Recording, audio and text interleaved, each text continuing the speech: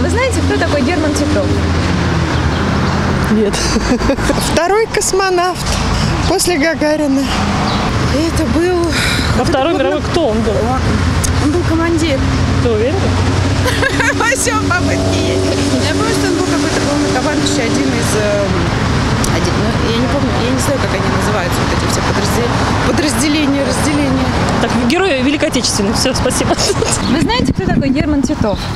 Ну, генерал. Муж сказал генерал. Ну, вообще, космонавт был же. Так что я за космонавт есть.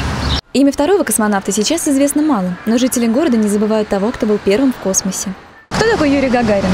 Космонавт. Девушка, такой вопрос. Как то первый космонавт? Гагарина наши жители помнят, это уже неплохо. Быть может, после этого сюжета они захотят узнать, и кто такой Герман Титов.